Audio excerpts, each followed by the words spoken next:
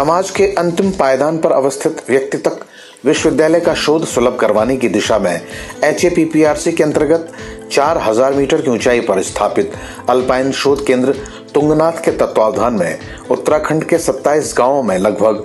तीन हज़ार एक सौ उनसठ काश्तकारों को औषधीय एवं सघंध पादपों के कृषिकरण से जोड़ने के अभियान के सकारात्मक प्रभाव, इन लोगों की आर्थिकी में सुधार, पलायन पर रोकथाम व रोज़गार प्राप्ति के अवसरों में बढ़ोतरी के रूप में सामने आए हैं।